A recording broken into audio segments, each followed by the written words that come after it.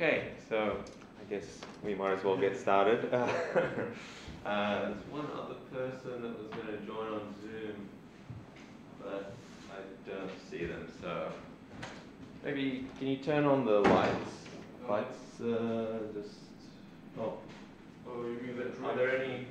Okay, that it doesn't matter. I probably won't use it today anyway. So, uh, so yeah. So welcome to this course on Introduction to Quantum Information. Sorry, I forgot to change the title on my main slide there. So, uh, as I was telling you, uh, there's um, a couple of other people in the class, but uh, they're uh, either on remote or uh, joining by Zoom. So, it will be quite a small class this year, but um, I hope that gives uh, plenty of opportunity for us to discuss, and it could be like a one-on-one tutorial, right? Um, so uh, this course is um, so of course about quantum information. Um, so my background is in uh, well physics, of course, but uh, this is actually the stuff which I'm actually researching sort of every day. Uh, so um, this is sort of my pet topic, and um, recently there's been quite a lot of buzz about actually this field because uh, um, just even five years ago, people were thinking that you know this is just sort of uh, you know kind of an academic study, but now people are really uh, taking it much more seriously. There's uh, you know huge interest from uh, big companies like Google, IBM. You know they're all developing quantum computers.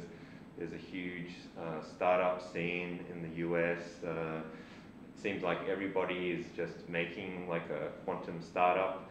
Um, uh, I've toyed with the idea myself. You know, this sounds very exciting. You know, you start a startup and you know maybe uh, get billions of dollars of funding. Um, you know, uh, but uh, um, you know it just shows how quite um, uh, you know there's a lot of interest in this field now, and uh, it's sort of gone beyond just academia and really into the commercial sector. And maybe I'll sort of talk about this a little bit uh, today as well, but also in this country, there's really uh, a huge investment um, in terms of uh, quantum technology. So, so uh, you know, I think that there's a really bright future in this field, and um, so uh, um, what basically this course is uh, designed to do is to really just tell you, um, just from the ground up, uh, basically what all this stuff is about, and kind of, but you know, not just sort of throw a lot of buzzwords at you um, and say, you know, you know, this is the future and stuff. I mean, we'll actually go through so that you can really understand um, really how this all works and. Uh, it sounds quite daunting, you know, you sort of have to learn quantum mechanics. Of course, uh, this is like, you know, one, quite a deep field already. Um, uh, there's been, you know, over a hundred years, hundred years of research uh, in this field. So, you know, it sounds like not something that you can just easily pick up.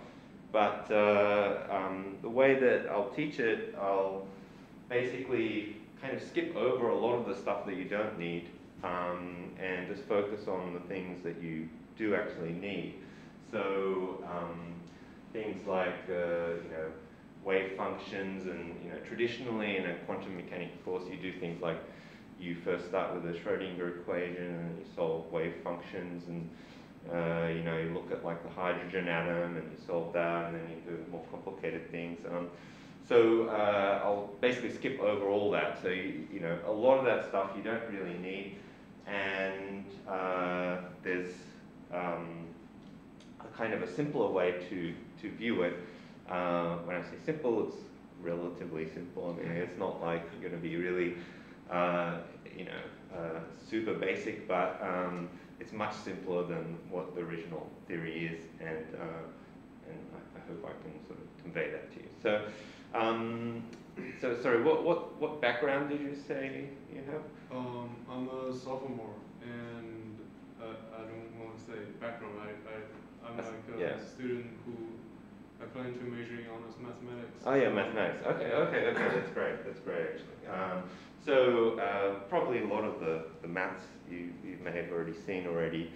Um, essentially, the way that I'll teach it is sort of um, essentially applied linear algebra. So um, you know, if you're familiar with linear algebra, then Yeah. then you're going to be in good shape. Yeah. Um, okay, so I, I, I'll, I hope that's true for the rest uh, of the class, uh, wherever they may be. Um, okay, so so for today, well, firstly, I just want to take you through the, the syllabus, um, you know, just give you an idea of uh, what's involved in the course. Uh, can you see that? Uh, this, Yeah, actually- blocking the way, or Yeah, actually, it would be nice if uh, you can lower the like the these frames? yeah these these. Right. Yeah, that's a bit of technology I don't know if I can handle. um, uh, I don't know how it lowers actually. Well, you can Actually, certainly turn it. yeah, I'll just I'll just sit Yeah. Okay, yeah, it might be easier if you just, just move, yeah. Okay, uh, but I'll sort of turn it sideways so it doesn't block so much.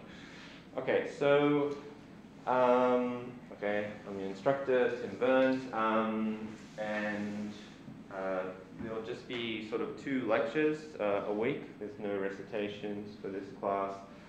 Um, and, uh, well, we'll get onto this later, but if you have any uh, problems, then you can visit me uh, in 1200. Actually, this is not my office. You can also come and find me in my office if you like, down the bottom there. But uh, um, I find that actually this is the most convenient for me and maybe also for you. Uh, this is actually when my research group meets every day. Uh, actually, sorry, this time is wrong. It should be uh, 3.30 to 5.30, sorry. Yeah, 3.30. I'll update that in the in YU classes. But uh, uh, actually, uh, we we just my research group we sit around in this room every day, and we just sort of have a open kind of uh, yeah kind of a study session. It's not really a meeting. Uh, we just sort of sit around and kind of either be coding or talking about some physics thing. So um, don't be intimidated when you see, this. Uh, just uh, um, not, I might be already talking to somebody else. Uh, in that case, you can just sit yourself in the room, uh, and then I will come to you eventually. Yeah, Okay. so I'll obviously recognize you. Okay, so uh, yeah, so course website, just NYU classes. I haven't really uploaded anything there at the moment yet, but um, uh, but uh, eventually I will also have things like you know uh, uh, the, the slides which I'm showing here. So you won't have to like take notes to um, you know, copy the slides or anything. Of course, I'll just upload all the slides, so you'll have a copy of that. Um, homework questions will be also up there. Um, I haven't uploaded that yet. I'll do that this week. Uh, and any other materials that you need. Uh, so the prerequisites are actually kind of extremely general because the idea of this course is that I just teach you sort of everything from the ground up. Um, so that's why it's like linear algebra or, well, one is linear algebra or linear algebra and differential equations.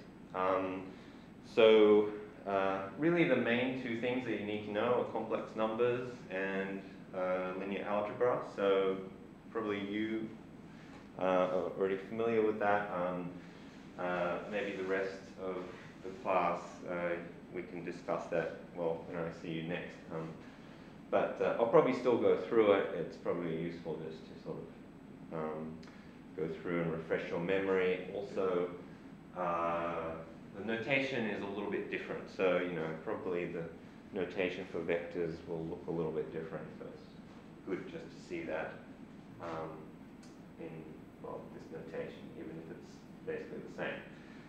Okay, so textbook is uh, this guy, uh, Nielsen and Chuang. Um, this is like kind of like the Bible of this field. So um, it's like really the standard textbook that everybody goes to. Um, it's a really good book. I, I really like this textbook actually. Um, I like the style that it's written in. Um, uh, it, it's it's kind of written in this style which is like very friendly. Like you know, it sort of talks you through the whole thing. It's not like you know extremely technical. Um. Yeah, and uh, I mean, as far as textbooks go, it really is a joy to read, but you know, depends on uh, whether you like to read textbooks. Um, uh, so, um, you know, I completely recommend this book, but it's uh, this is just recommended text, so you don't have to buy it for the course. You know, it's quite an expensive book. Uh, so you can, um, uh, well, yeah, know, have a look at that uh, online and see if, see if you like it, see if you think it'll be useful. Um, I think some of the relevant sections, and not the whole book, of course, because that's uh, you can't do that. Um, I will probably upload to NYU classes as well, so you know the relevant sections uh, you will probably have. Uh, another uh, very good book um, is this this one, uh, but it's not really completely aligned to this course, I would say. So this is more of a you know traditional textbook about quantum physics. So you know if you had like a, a second or third year physics course on quantum mechanics uh, at you know any university, this would probably be the uh, well, one of the main textbooks that um, a lot of courses use. But um, it's, as I said, it's more like, uh, you know, standard quantum physics kind of introduction. So uh, it's not going to be really the way that I'm going to teach you. Of course, it's all the same stuff in principle, but it, it, a lot of it will not really uh, even look so familiar. Um, so uh, maybe this one is only for those of you who you know, really want to learn quantum physics um, to a deeper level. So, you know, and obviously this is nothing got to do, doesn't really talk about quantum information or anything. Okay. Uh, yeah, so the kind of topics that I plan to teach you uh, will be, well, okay, so this is sort of um, just going through uh, each of the points, but um, it's, uh, well, firstly this sort of historical introduction, uh, but then we'll immediately get onto uh, the basic theory of it, which is, uh, you know, linear algebra, complex numbers, uh, talk about wave function, Schrodinger's equation, but sort of in the way that I want to present it to you, so maybe not in the normal way that uh, is taught. Um, probability interpretations, um, operators, matrix, formulation of quantum mechanics. So this is really the, the, the formulation that we'll be using a lot. And then try and get onto basically qubits and all this kind of fun stuff in quantum information as, as quickly as possible, basically. You know, so I'm, I'm basically, you know, to get here is really my aim. And so uh, probably half the course, or actually probably more, could be spent just trying to get to this point. But then once you're here, then this is, well, the fun, where the fun Yeah, starts. the if you like. products are real fun. Yeah, yeah, yeah. Uh, teleportation. Um, I, I probably won't talk about all these topics, but uh, you know, some of these topics are cryptography, um, metrology, simulation, um, Grover's algorithm. This is the famous algorithm where you can uh, do uh, know, the fastest um, kind of search algorithm that exists. Um, well, known to man. Um, if you had a quantum computer, this would be the fastest way to do it. Uh, but uh, um, uh, otherwise, of course, you, know, you use Google and stuff. But, um, okay. Um, okay, now for the serious stuff of degrading. Um, so uh, the, the marks will be distributed in this way. So this course will be sort of exam based. So um, Uh, there will be a midterm exam, like an in-class uh, exam, um, final exam. Uh, there'll be homework each week, which uh, um, you can hand back and I'll mark and give back to you. And there'll be an assignment kind of component. And this uh, assignment, I think, um, so actually this is sort of a new course, if you like. Um, last year, this was running as a two credit course. Now it's a four credit course. And uh, essentially, uh, the, the main differences to last year are that, well, obviously there's more lectures, but apart from that, there's also this assignment component. And uh, I like to actually do these assignments. I even do it in my first year physics class because it's, uh, it's a lot more like research and this is sort of uh, kind of where my passions are, if you like. So um, I haven't really uh, set the assignment questions yet, but uh, what I imagine the type of things that you might do is that, so for those of you who are sort of um, interested or you know like coding and things like that, this will be, uh, it could be like a coding exercise. So it's like, you know, here is some, say, quantum circuit, um, you know, write some code to find the final outcomes.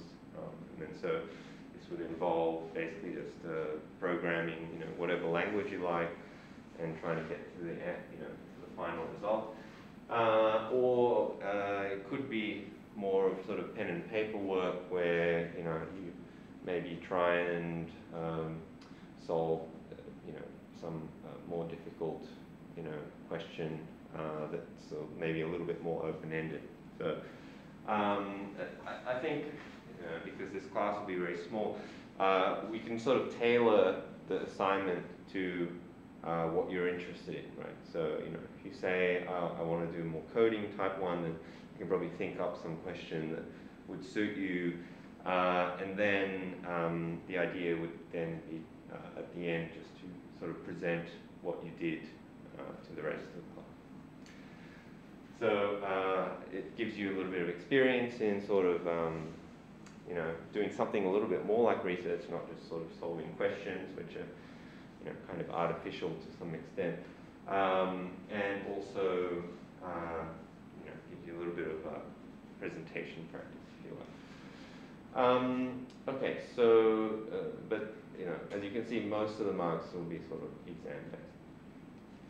Um, but don't be too, too worried about that um, because uh, uh, usually the type of questions that I give in the exam are um, usually a lot like the homework questions. So if you are doing the homeworks every week, then uh, generally people are fine.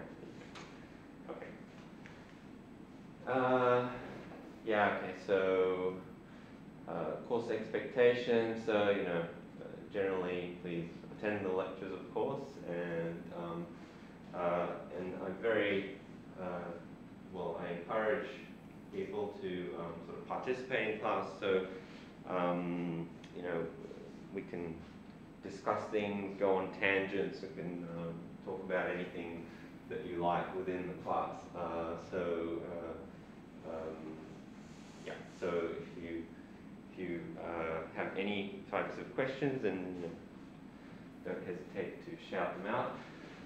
Uh, and doing the homework, of course, helps for the class, and is just some fine print for, uh, you know, don't cheat and don't uh, try and hand in stuff on time. Okay, so I think that was about it. Yep. So, any questions on syllabus? Anything I missed? Uh, yeah, no question. Okay. Okay, all right, great. Okay, then, uh, what I'll do is to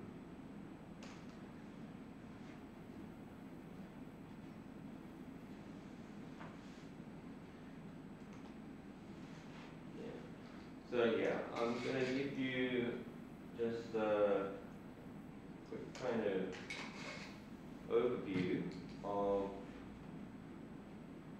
well, just to give you a little bit more of a flavor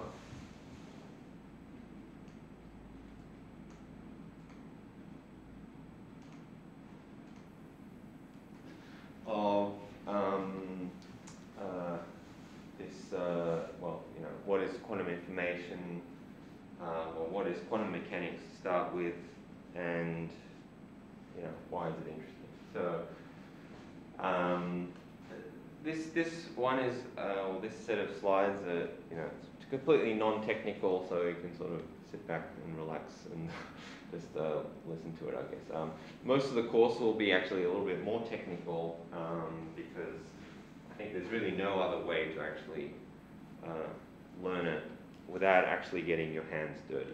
So, um, all right. So, uh, quantum physics.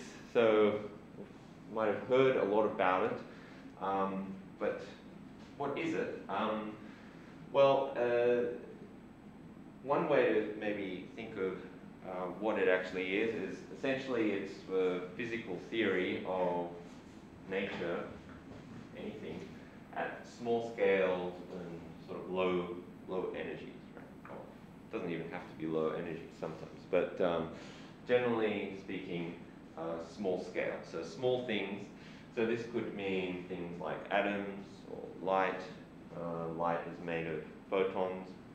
Um, electrons, basically anything small. And uh, one of the kind of frontier directions that people are really pushing this these days is to see, you know, how big you can make things before quantum mechanics just sort of breaks down. Um, you know, uh, there's been a kind of a long-standing problem of, you know, okay, uh, we know that microscopic things behave according to quantum mechanics, but yes, yes, So how large uh, does it, like when the size becomes large enough, it behaves more like a, like a thing instead of weight, Yes. so they're trying to find the threshold for like.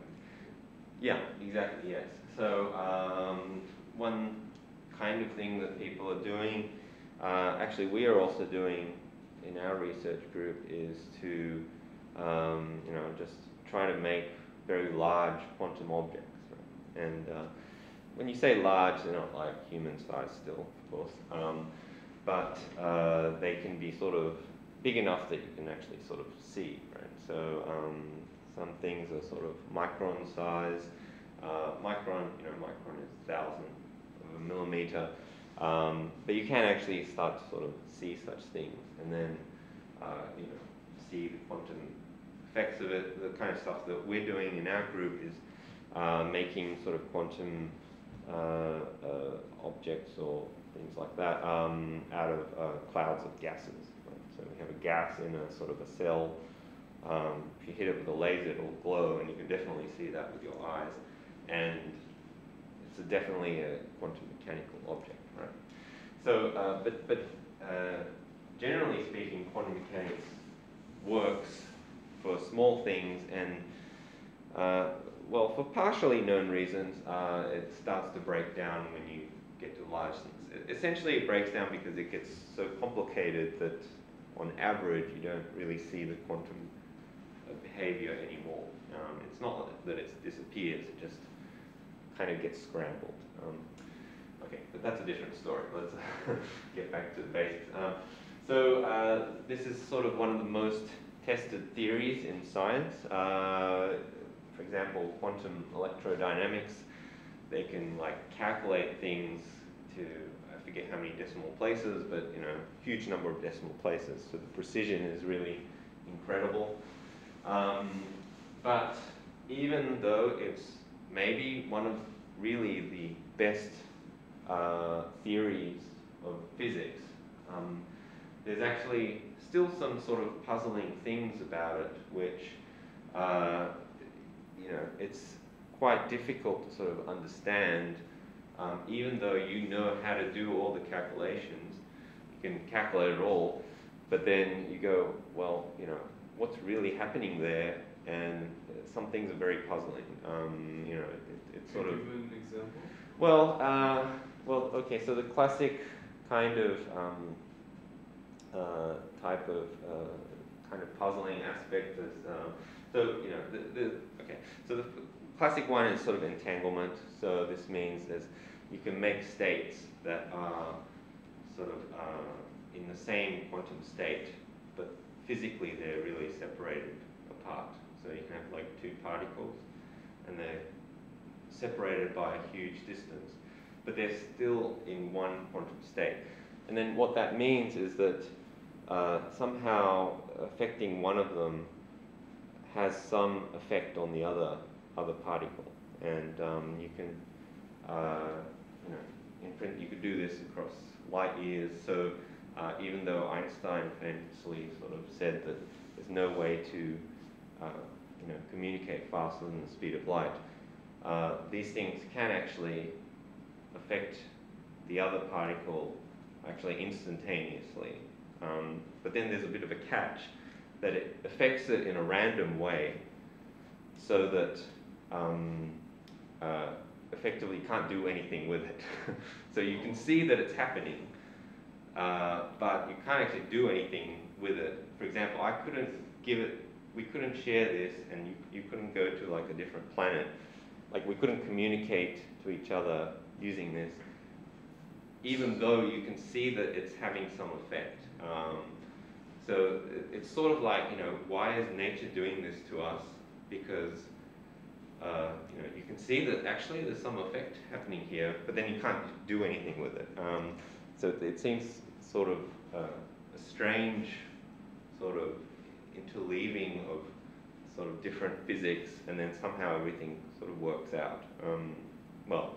So like there is two paradoxes here. One is like you can affect one particle very far from one another, then yeah. like the action would be faster than the speed of light, which yeah. is um, which is a paradox. And also there's like the effect, right? Like mm. Um, you can actually you cannot actually control this change, but something will happen to it. And, yeah. and but if like if it can be cannot be controlled, does that count as an effect? Yeah. yeah, yeah, yeah, yeah, yeah. That's that's uh, that's not not a bad way to put it. Yeah. so uh, quite interesting. Yeah. So um, you know, it's uh, that's sort of one aspect of it. Another aspect is, uh, you know, why is quantum mechanics sort of random to start with? Is there seems to be this random aspect, and it's built into the whole theory. Um, and this is actually sort of an open problem even with physics of um, we know that quantum mechanics, and we'll see this in more detail in the lectures, but uh, when you measure them, things uh, randomly uh, become like different outcomes. And, um, and, and this random aspect is a little bit puzzling because you have to kind of put it into the theory without explaining how it happens.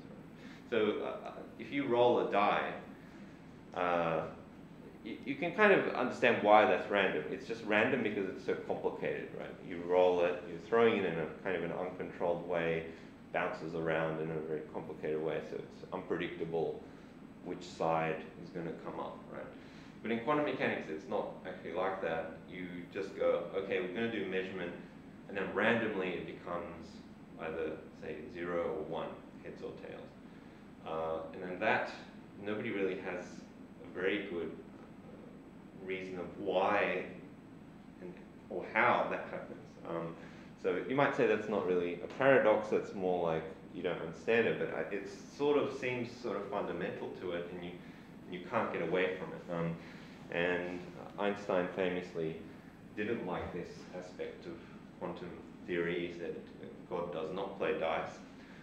Um, but uh, still to this day, nobody really has a good idea of why, uh, why that. Um, yeah.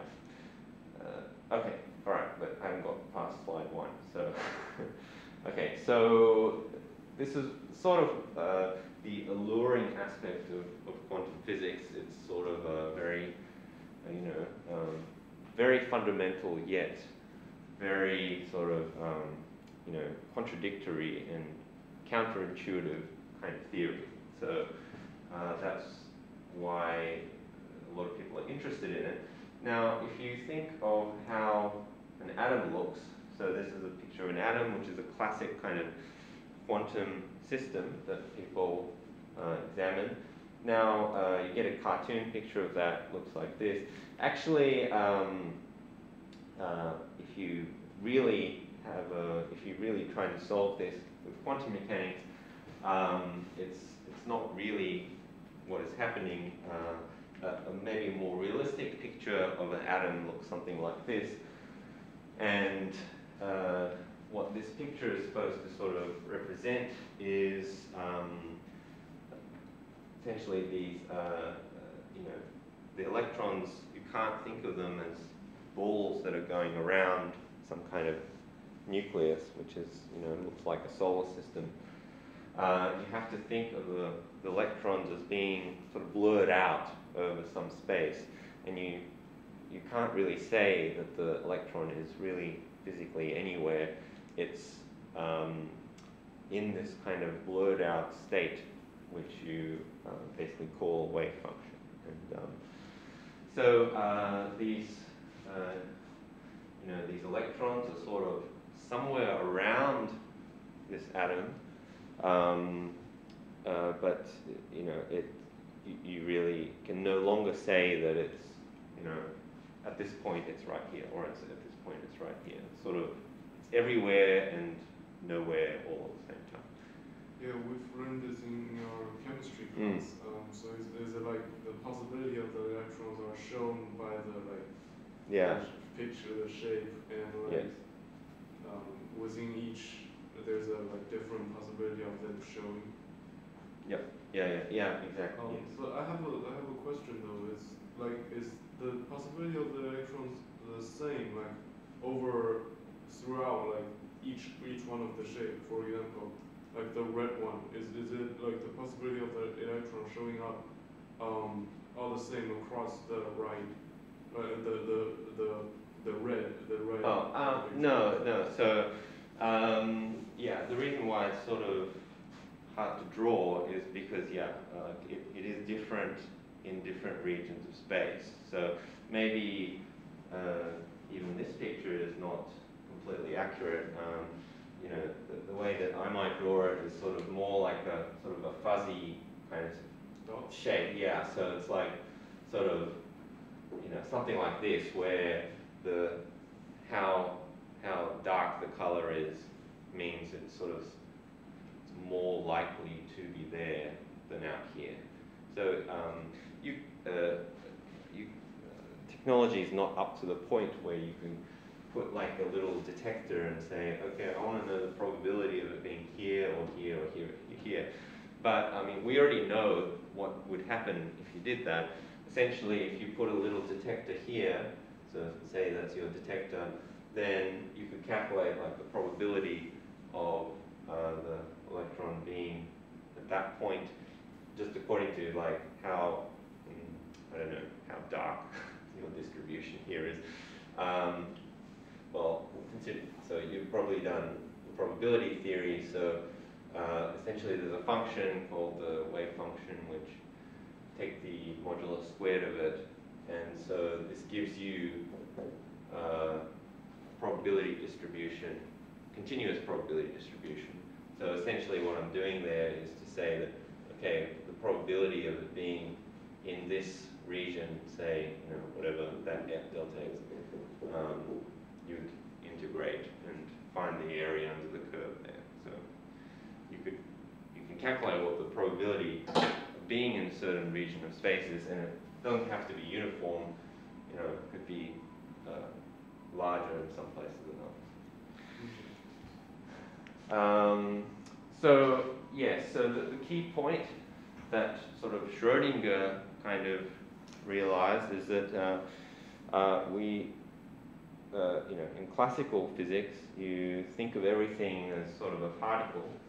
So you think of, you know, electrons and things like that. They have some position, they have some velocity, and that describes your state of the system. Um, but Schrodinger said that, uh, well, actually, no. So everything actually should be described more like a wave.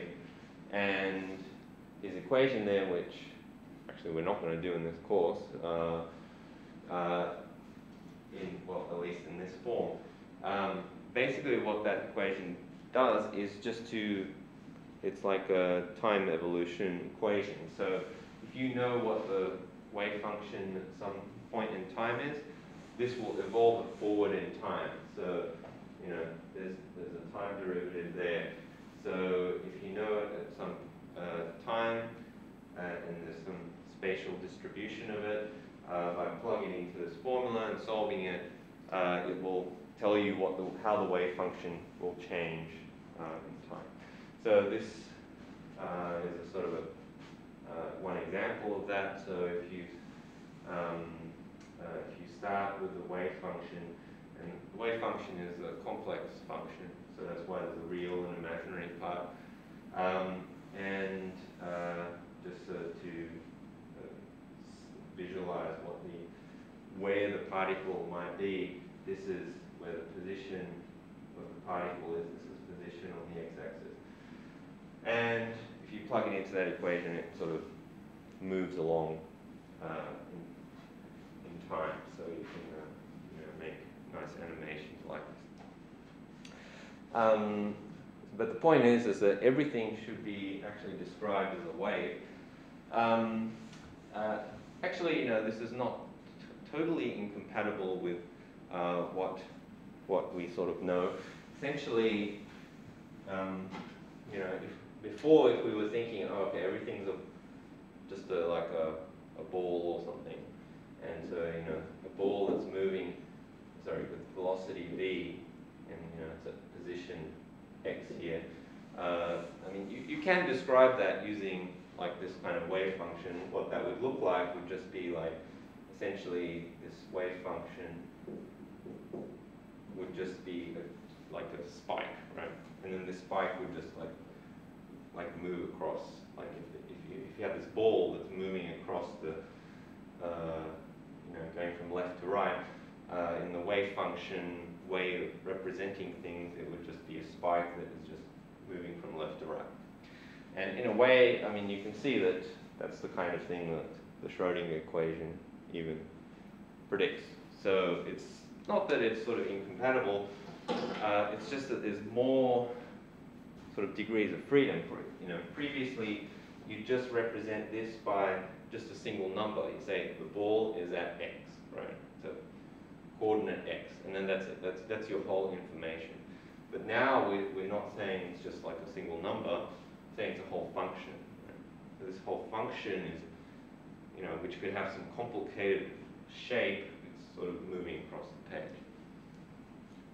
Uh, yeah, I have a question though. Um, like in your in your daily life, I've I wonder that a lot of things we consider as waves are actually like some kind of object. So, uh, like the water, the water flowing, it's like a, um, it's like a bunch of atoms, water Mhm. at or, or hydrogen or, or like the Yeah. molecules that compared together becomes the wave.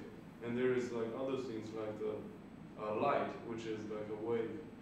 But like, are these like, is wave actually like some just a collection of like objects, or are they like a pattern of of Oh. things as as it was?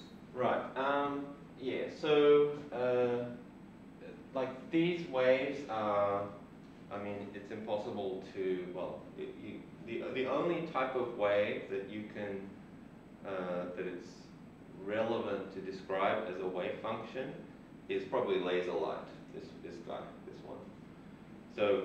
Uh, all the other waves that you uh, experience in daily life, like water waves, um, I would say that these are different types of waves because, uh, say, water waves, of course, you know, it's just a bunch of molecules, and then, you know, the molecules are uh, interacting with each other, and then, you know, eventually makes this kind of wave shape of all the atoms. Right? Uh, this kind of wave function uh, is happening sort of at the, mm, I don't know, atomic level or photonic level. And so uh, generally, normally these are too small to be seen. Um, uh, but occasionally you, you, you, can have really big uh, waves um, and, and, and light happens to be one of them. So this laser light. Um, so normal light actually, even there, the, the waves are there, but you know, the waves sort of look sort of like this. So if you have a, a light bulb, uh, you know, there are all these waves, but essentially it, it's, uh, it's you, you can't really notice the waves because they're all sort of out of sync. So the, the, each of these photons that are coming off the light bulb all do have waves, but they're all out of sync and you don't really notice it, right? But if you have a laser, actually what really does happen is that uh, all these light particles, the photons, are all coming out with the, the same same wave. Oh, so you mean like the light bulb, they cancel each other out with yes. some, some effect? Yes, yes, yes. So is like, what exactly are these waves? Are they just photons or? Yeah, these are photons. These are all photons, yeah.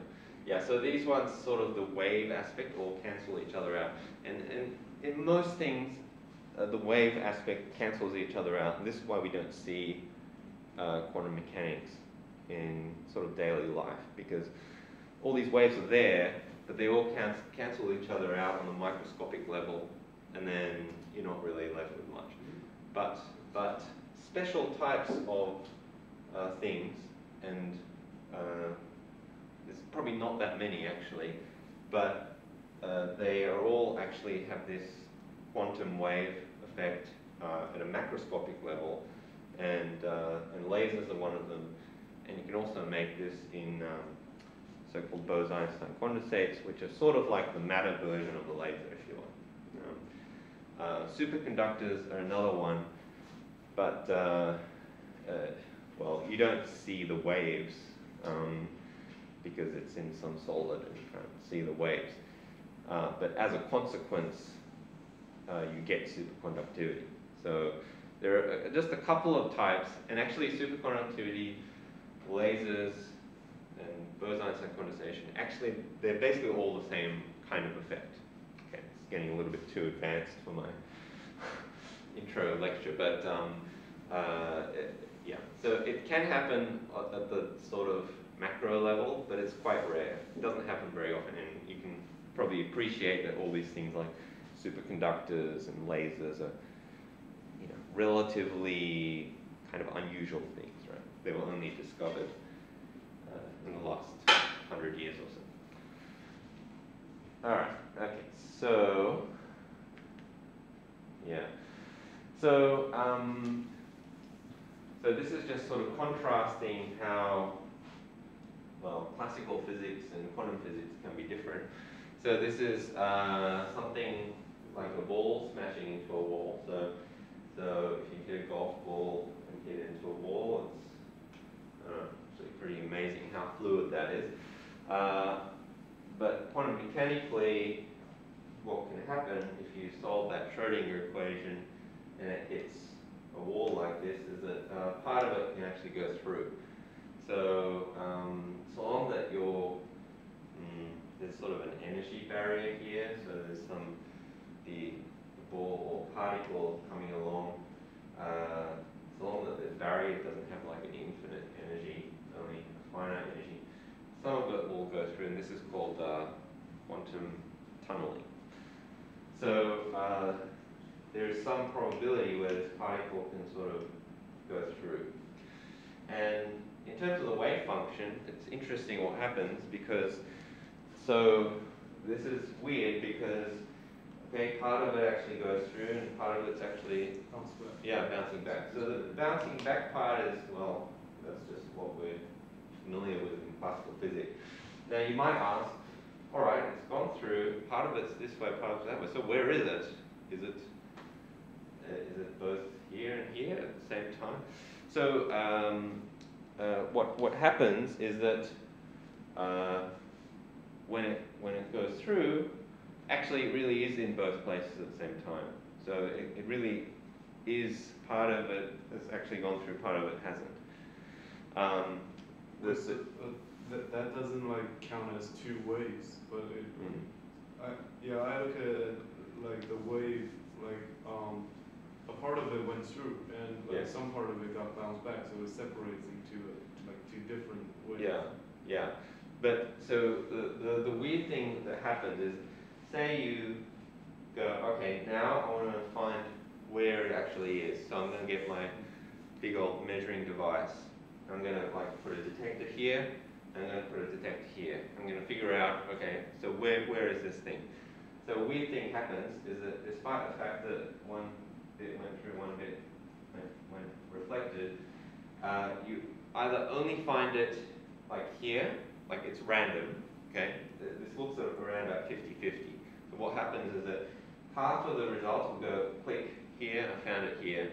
Half the results you go click, I found it here in, in the reflected. But then you never find it in like click click, like oh it's both forward and backwards. You never you never see that. Uh, so somehow these guys sort of know that it's like they're supposed to be one particle, so that when you detect it, you only get one, but it's randomly here or here. It's like the observing, like when you observe it, it only shows that one place, but one, like, Yeah. actually, it, the possibility is about the same. Yes, so in this case it's 50-50. Uh, it doesn't have to be 50-50. Uh, that's just well, what this graph chose. But, uh, but yeah, it's, it's sort of a probabilistic kind of thing. Yeah. But prior to that, it really is in both places at the same time.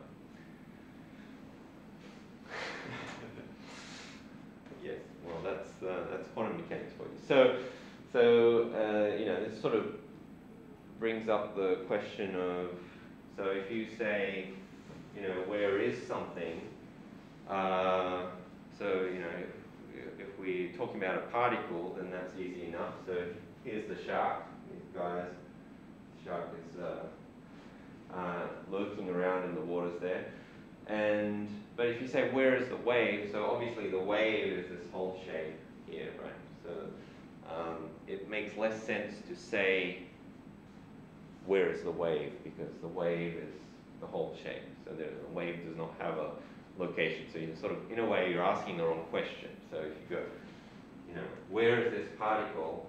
Well, you're asking the wrong question because it's, this whole thing is where it is. That, Oh, so quantum mechanics doesn't work this way. Yes, yes, but uh, but but the weird but the weird thing is that I mean you can put detectors and you have you can ask the question okay so where is it and then once you force quantum mechanics into that into that kind of possibility then it immediately collapses back into this sort of particle like um, situation where it's either here or there and it, you know, it won't be um, it won't be both. But before you measure it, it is both.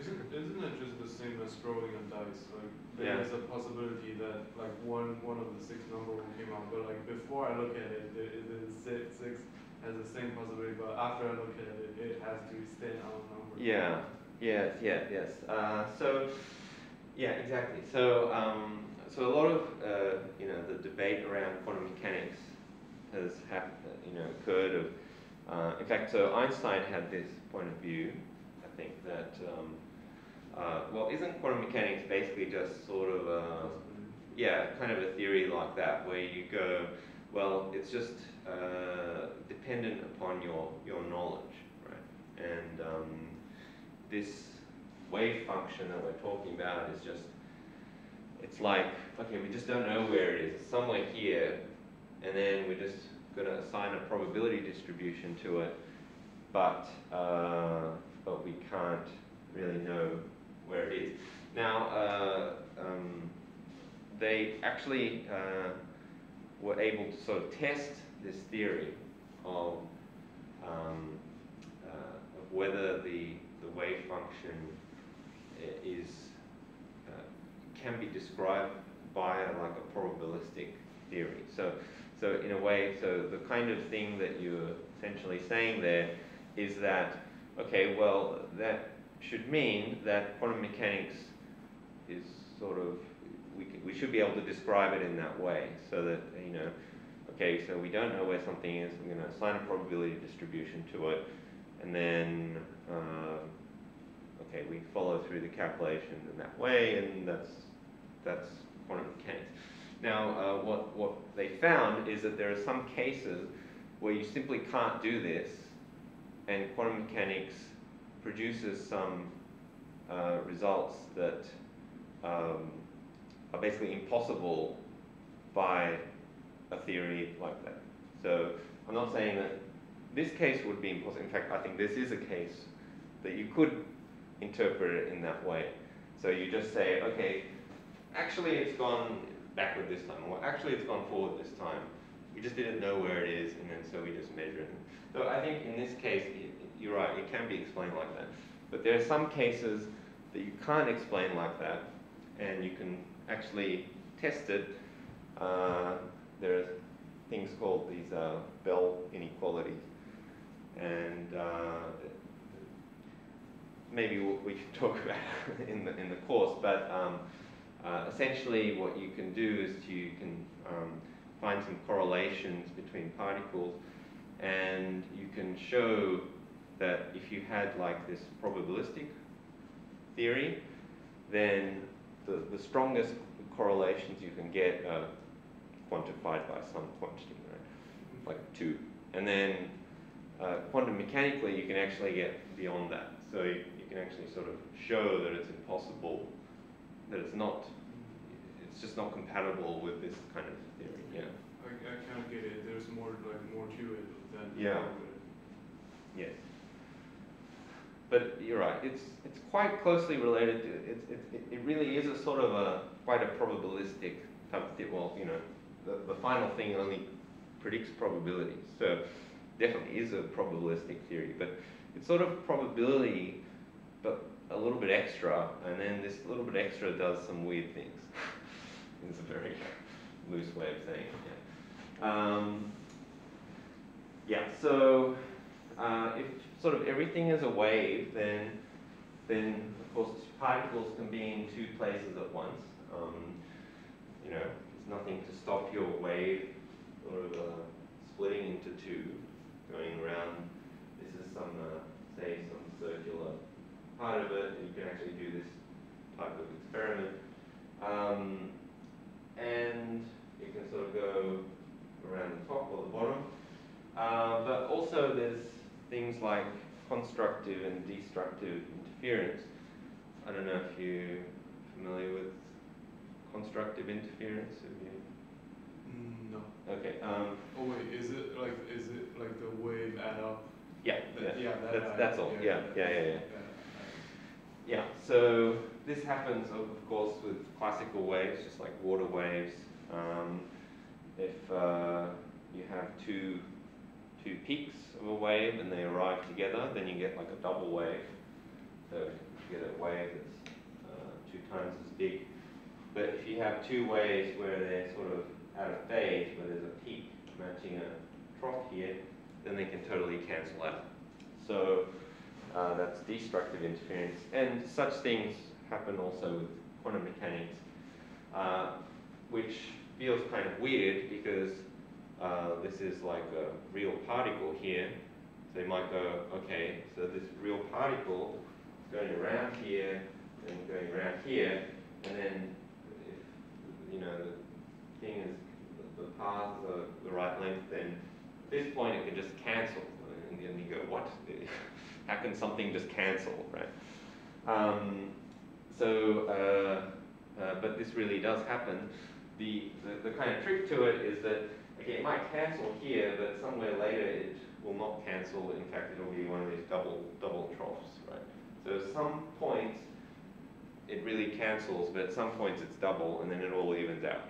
Um, so you can't sort of destroy the particle entirely.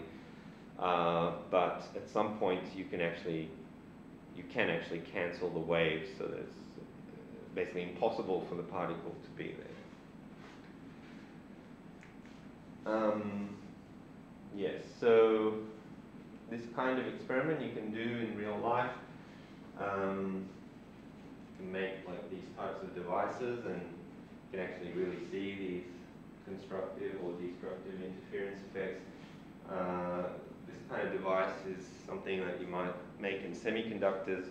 The kind of thing that you do is to you make these sort of micro circuits where the electrons are moving around and and uh, they they still have these wave properties and you can really uh, measure them uh, usually by things like current detectors. So, So that's like a real, real thin Yeah. conductor, like, yeah. and you put like waves through them. Yep, yep, exactly, yeah.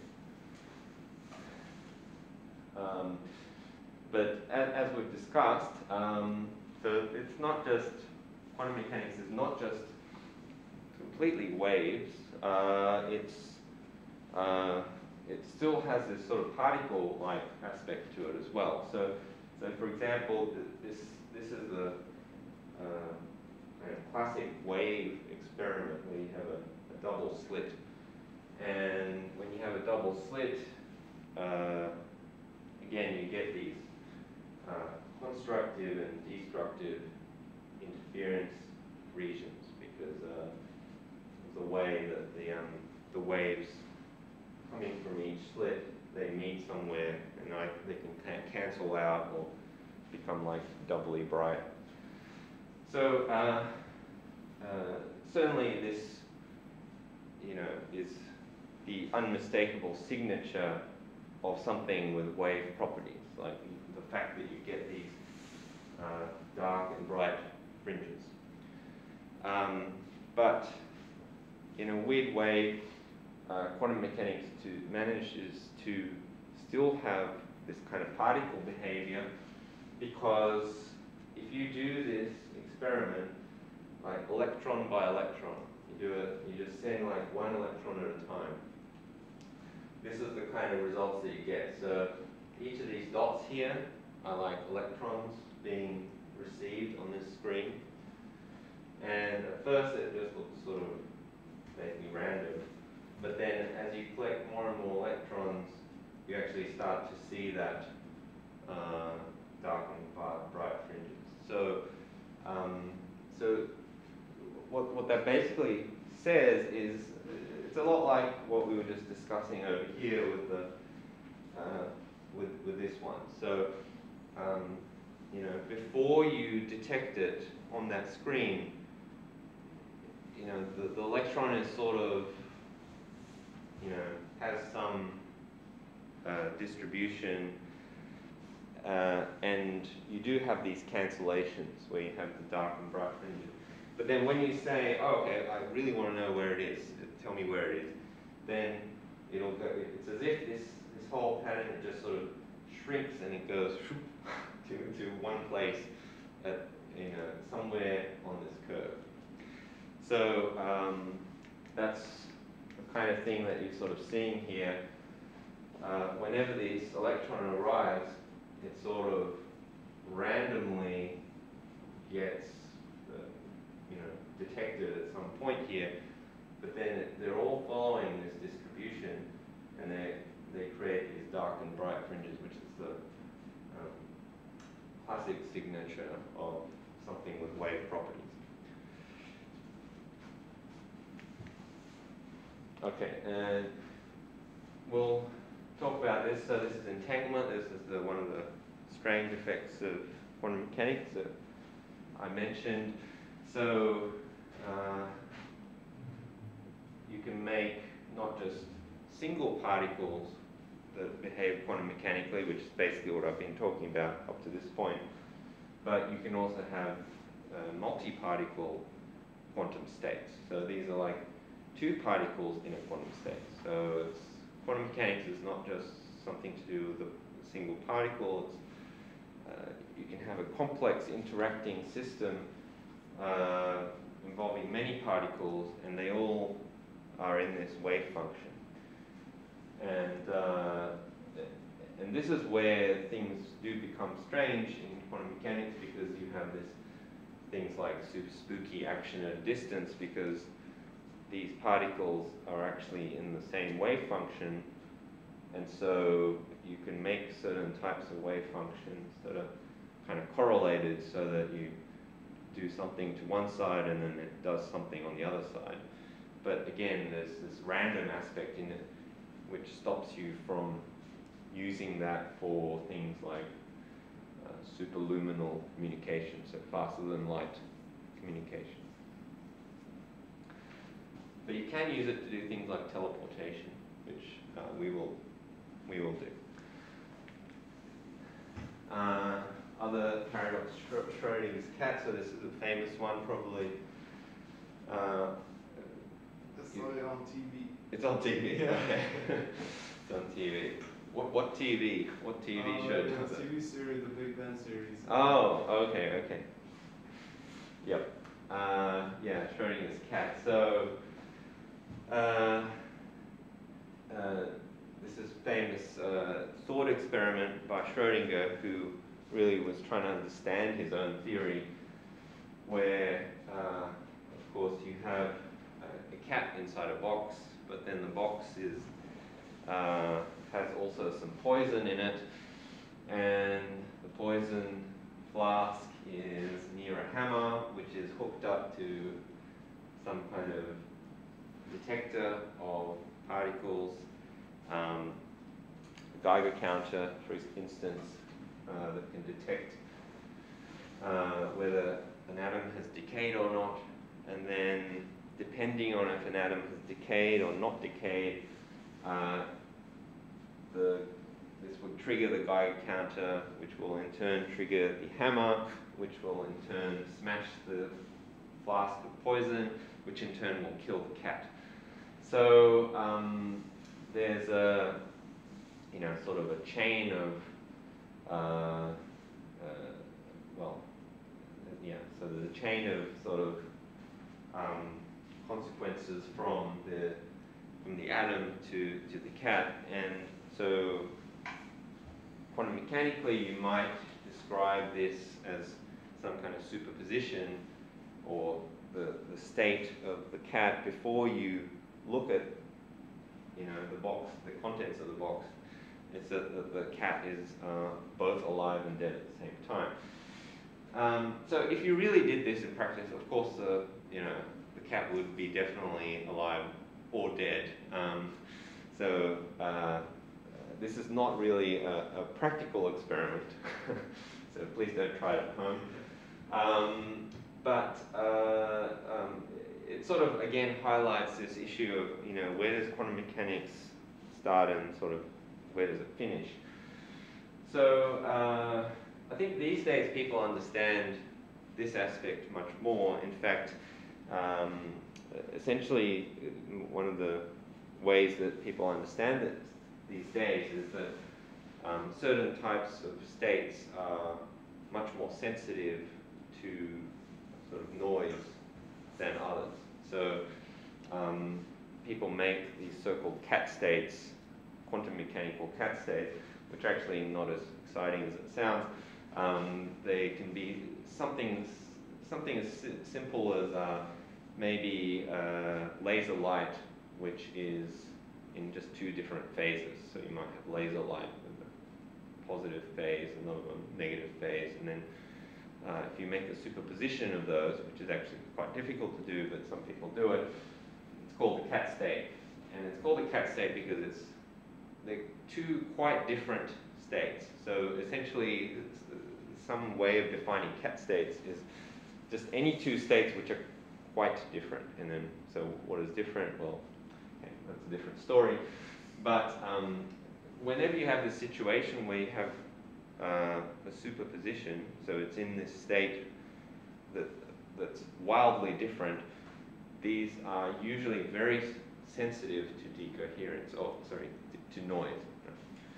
And uh, in, this is why in practice this, this will never happen, but um, uh, still an interesting kind of thought experiment of, okay, uh, probably you wouldn't do it like this, but uh, there is a point where it becomes increasingly difficult to do quantum mechanics, uh, you know, at, at some level. And, and this is exactly what some people are really still researching today.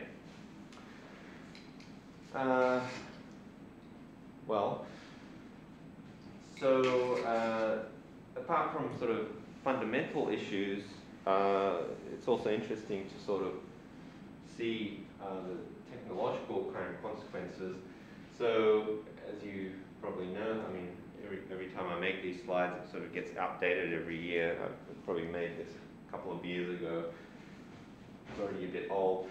So, um, uh, you know, even like five years ago, people were debating is Moore's law finished or not. I think it's definitely finished by now. Um, so uh, it's not a revolutionary statement. But, uh, you know, famously, of course, Moore's law says that number of transistors uh, in computers double every 18 months or so. And uh, this has held true, you know, for a remarkably long time, I think even earlier than this graph shows. So, um, uh, you know, these days, of course, the uh, chips are not getting faster uh, by making the processors smaller, um, you know, just adding more cores to the computers and, you know, this makes it faster. Um, but uh, the real kind of issue here, maybe I'll skip that one, is, uh, you know, wh why can't we keep on making the processors smaller? Is essentially, you know, we're starting to reach sort of the atomic limit of uh, where you really can't miniaturize very much further without really hitting quantum mechanics. So these are some, you know, sort of latest kind of smallest uh, transistors. So this is again a bit old, December 2018, but is this transistor is about three nanometers big. Um, now, if you compare that to the size of a silicon atom or a gallium arsenide, sorry, gallium or arsenide atom, so these are famous semiconductor materials that you make stuff out of. And this is, uh, you know, 0.36, so it's, it's only like 10 times bigger than an atom. So you can see that actually really, uh, there's not really that much room that you can make stuff smaller because uh, obviously you can't make things smaller than a single atom. So um, can view this as a problem that, uh, okay, well, we can't make our computers faster. Well, okay, can by adding more cores.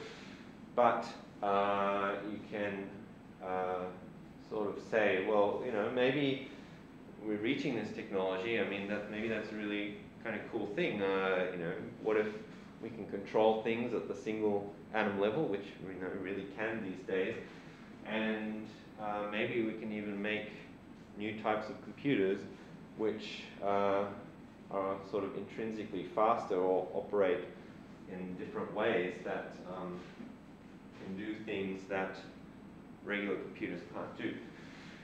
So, um, so that's basically getting to this point of uh, quantum technology. So, you know, what can we do with quantum mechanics? Uh, quantum mechanics has been around for uh, sort of about 100 years, uh, maybe, maybe a bit more. But uh, actually, there's not been many things that actually use quantum mechanics at the sort of technological level. So um, most of the things that we are familiar with in technology uh, use classical physics and uh, there's a couple sort of sprinkling that kind of use quantum physics but uh, only in a relatively sort of simple way. So, so for example, things like, I mean, superconductors and, well, even transistors, um, to fully explain the physics, you need quantum mechanics. But uh, they're only sort of quantum mechanical in the sense that the quantum physics is happening in the material, and it's not really in the technology itself. It's sort of more like you've made a material that you need quantum physics to explain. So um, other things that really use quantum physics as its sort of fundamental uh, you know, part of the technology, I would say that really it's only things like lasers. Uh, lasers really are actually quantum mechanical, um, you know, it's really quantum mechanical light. And uh, using such things, I think, really, uh, you know, is one of the major building blocks of uh, quantum technology these days. Uh, and other things like MRI.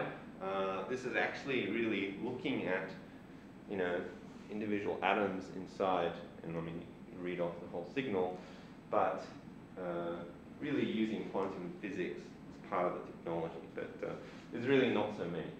Another thing is a SQUID. Uh, that's not the thing that swims in the sea. That's the stands for uh, superconducting quantum interference device. Uh, this are like very sensitive detectors of uh, magnetic fields. Um, okay, ma- maybe I think we should leave it there because, uh, yeah, okay, we can finish off this in the next lecture. So, um, any questions for? Time? Yeah, yeah I, I do have a Yeah. one or two questions. Um, I was I was wondering how is quantum technology has to do with like nanotechnology, because they're both small things. Yeah. Uh, I think usually nanotechnology, um, uh, you know, obviously there's small things, but um, uh, I I think as soon as you're really using the quantum uh, aspect, um, or you're really looking at quantum effects, I think this is where you cross over into quantum technology. Whereas nanotechnology, I think, is still more or less on the classical side, but then you're still doing things at an extremely small scale. So I think uh, they, they, they do sort of cross over a bit. Um, and I think you do use sort of nanotechnology, uh, sort of, uh, you know, the technology to do sort of quantum uh, types of information and quantum technologies. But uh, I think these days it's not actually the leading platform for quantum computing. So I'll show you probably uh, next lecture the kind of leading platforms. But uh, there are some people that do sort of nanotechnology type based quantum information, but uh, there are, I think, better systems to actually do quantum physics with. So, um, uh, yeah, that's probably the difference, but there's definitely an overlap, I would say. Yeah. Um, yeah, I don't think I have more questions for the. Okay, great. All right, then uh, we'll see you on Thursday then. So, okay. Um, wait, uh, also Yes. about like about the like the class and the reading. I have like um like do we have homework assigned on Thursday? And Yeah, I'll give it to you on Thursday Okay, because so- we haven't really done very much yet. So. Was it like I'll, always ask asking questions? yeah. Yeah. Uh, no, no, no, that's good actually. Um, Yeah, I, Yeah. I enjoy the lecture quite. okay, great. Yeah, yeah, yeah. Glad you did. Okay. Turn all this stuff off.